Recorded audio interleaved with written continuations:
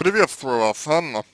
А, собственно, начать, наверное, свой ответ, я бы хотел а, с того, что вы не задаете а, вопрос, кроме того, что а, спрашиваете по поводу ориентации своего мужа. А, по ориентации вашего мужа мы вам, понятное дело, не подскажем, потому что, ну, это очень э, личный вопрос, очень интимный вопрос, и вот по одному такому небольшому тексту, даже не общаясь с вами, на мой взгляд, ну, совершенно невозможно сказать э, что-то, что там да как, да? Вот. А, но можно а, на основе вашего текста а, выделить некоторые моменты, отдельные моменты, а, на которые можно обратить внимание. Итак, какие это моменты?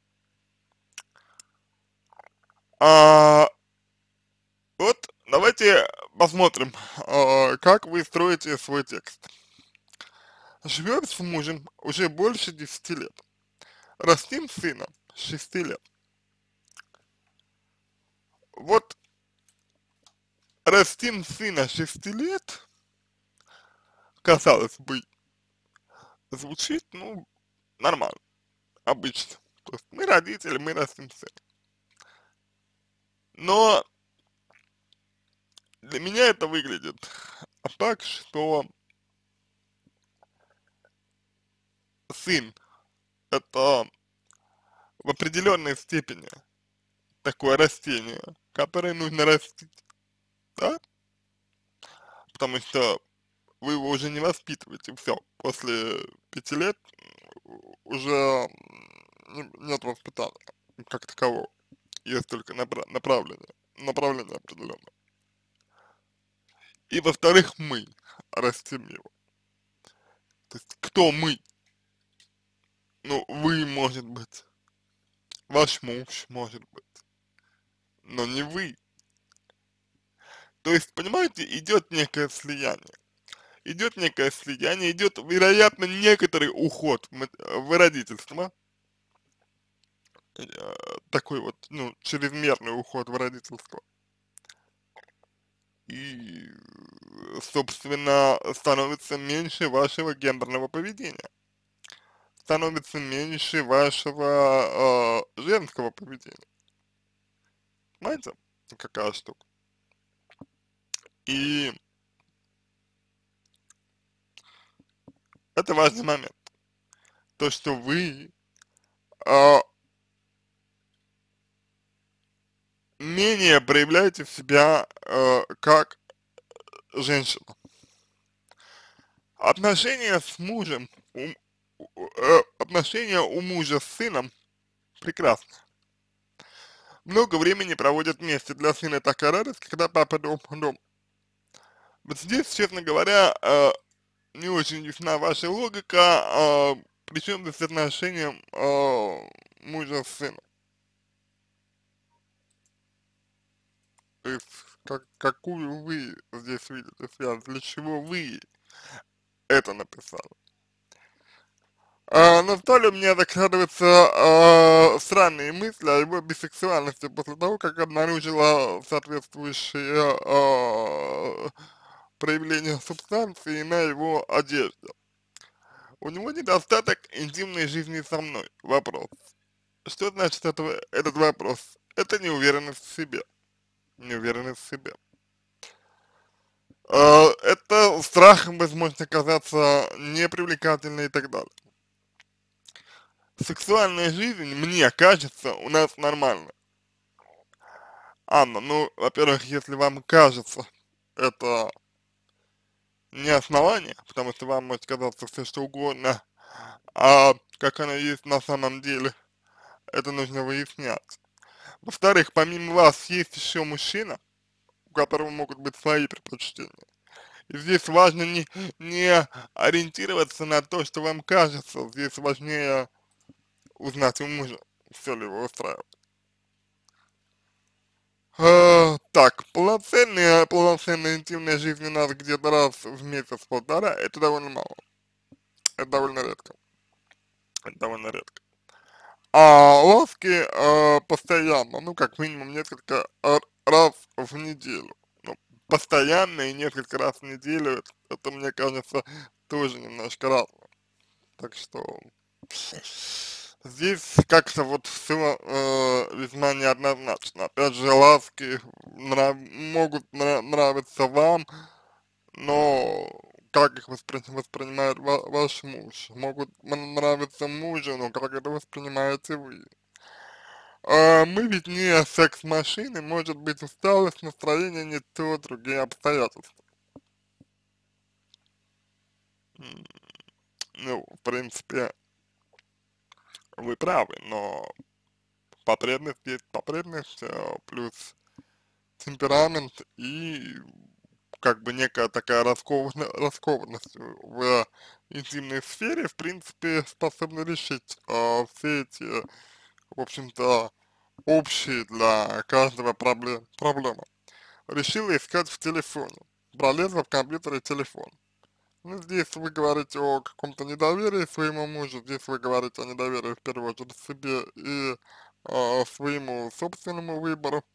Вот, здесь вы говорите о нарушении личного пространства своего мужа, здесь вы говорите о нарушении его личных границ, здесь вы говорите о, по факту вмешательства в его личные границы, о неуважении к ним, о, о обесценивании их, вот. И, ну, это очень, э, очень э, серьезно на самом деле, потому что э, данное проявление свидетельствует о наличии достаточно серьезных проблемах у вас э, в отношениях, как мне кажется, как мне кажется. Вот. Потому что, простите, но такое поведение для людей, которые друг другу доверяют, оно, на мой взгляд, ну, мягко говоря, неприемлемо. Вот. То есть здесь вы а, свои собственные страхи, свою собственную тревожность, а, свое привычное желание доказать а, таким вот способом, что вы привлекательны, что вы а, ну, что вы а, ценны, что вы а, а, что вы важны, а, вот, а, как бы, ну, а, таким образом вы а, пытаетесь это как-то компенси компенсировать таким образом. Но проблему вашей неуверенности это не решит. И не решает. Потому что это именно ваше, ваше э, восприятие ситуации. Это именно то, как вам, э, то, как вам видится э, вот то, что происходит. понимаете? Поэтому здесь нужно разбираться именно с вашей, с вашей э, реакцией на вот а, ну, на то, что происходит, на то, что, э, на то, что произошло. Дальше. Значит, эм, прошерстила все безуспешно. Ну вот, то есть как бы это э, страх, вами движет страх. А, друзей мужиков ни одного, все это так странно, но какая может быть что он вообще с мужским полом не контактирует. А почему вы думаете, что именно мужской пол? Это как-то, ну, на мой взгляд, несколько странно, что вы именно а, на э, гомосексуальность здесь а, обращаете внимание, вот. Так что, повторюсь, а, повторюсь, а, проблематика здесь именно а, вашей неуверенности в, а, в себе. Вот. Это крайне важно понимать, что э, ваша неуверенность в себе, я бы сказал, я бы сказал, некоторая, э, э, некоторая, некоторая противоречивость в э, интимном поведении именно противоречивость некоторая.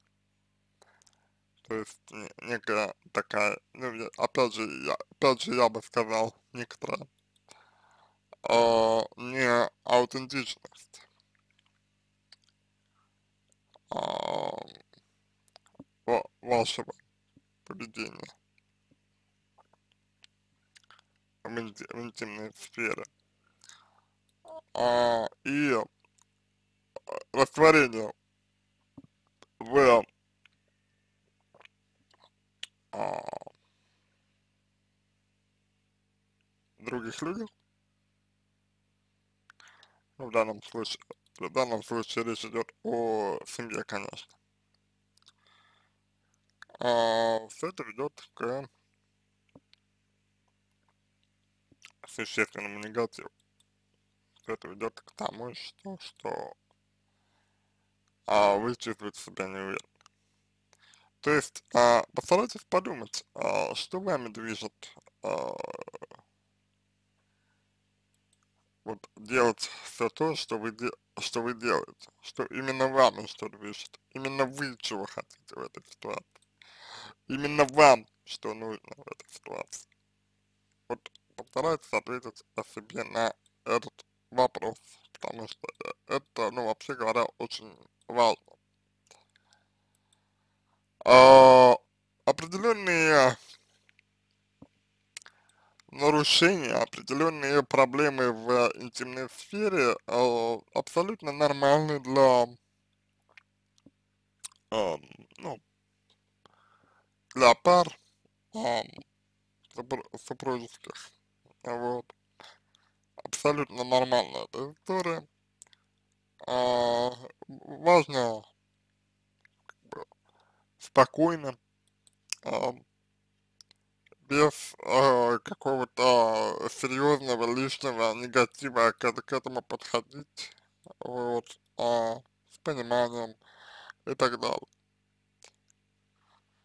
А, на мой взгляд, вы этого не делаете, на мой взгляд, вы не подходите к этому таким образом, к сожалению. И на мой взгляд, э, вероятно, им, именно это является основной проблем, проблемой. А, обратите внимание на ваш вопрос, где вы пытаетесь понять именно э, своего мужа, мужа, вы пытаетесь узнать что-то о муже, но не хотите разобраться в себе, а именно, именно разобраться в себе здесь в первую очередь необходимо, необходимо, потому что это очень сильно влияет на то, как вы себя ведете, очень сильно влияет на то, как вы к себе относитесь, очень сильно влияет на ваше поведение, которое из-за подобных моментов становится несколько менее естественным, становится несколько менее спонтанным, становится в большей степени ориентированным, ориентированным на вас саму, то, то есть становится рэкет, рэкет, рэкетным. Вот. В рэкетном поведении, понятное дело, э, хорошего нет ничего, ничего, и именно поэтому так важно, так важно вам в первую очередь разобраться в себе, на, на, на мой взгляд, э, безусловно, на мой, на мой взгляд. Вот. Я бы, конечно, работал бы с личными границами, чтобы научиться как-то более уважительно относиться к личному пространству а, своих близких, потому что то, что вы, а, ну вот, залезли в телефон человека, да, в компьютер без его ведома, по сути, это, конечно, очень а, неуважительно. А, это очень неуважительное отношение к а, близкому к вашему мужчине, вот, и это свидетельствует о наличии достаточно э, с, э, сильного, на мой взгляд, э, переживания э, вашего переживания э, именно относительно вот, ну, ну чего-то, да, то есть такое поведение, оно свидетельствует о наличии э, сильного переживания, но оно неприемлемо. Во-вторых. А, вот примерно такой ответ а, я могу вам дать. А, на этом можно закончить. Я надеюсь, что это было вам полезно. Я Желаю вам всего самого доброго, удачи и надеюсь, что ваша ситуация будет разрешена самым лучшим образом.